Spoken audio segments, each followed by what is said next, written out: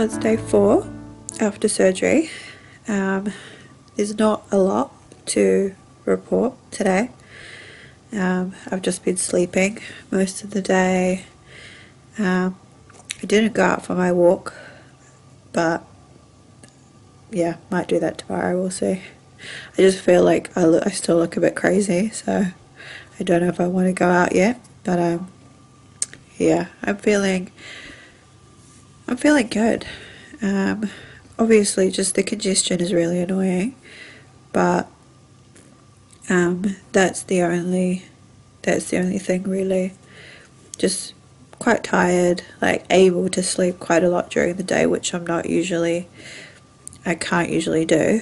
So um, I think that's telling me that my body is, you know, doing what it needs to do to get back on track. Um, but yeah, there's no real, no real updates really. I'm just keeping on, keeping on.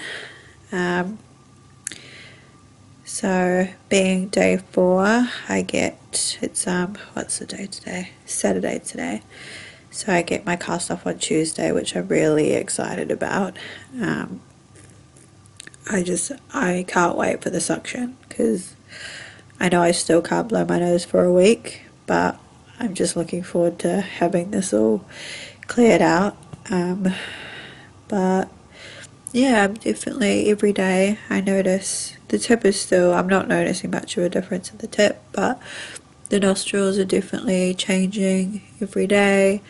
Um, still quite yellow and a little bit puffy, but that seems to be going down as well. Um, yeah, that's about it really. Um, I've taken my evening meds, so I'm just gonna um, try and find something to watch on Netflix, and uh, yeah, see how I'm feeling tomorrow. In terms of um, what it looks like, that's the um, it's all the ointment still, but that's the nostrils and the tip, um, front profile, side profile I'm really yellow in here and it's still really elevated but that's normal. And then this side as well. But yeah I'm really happy so far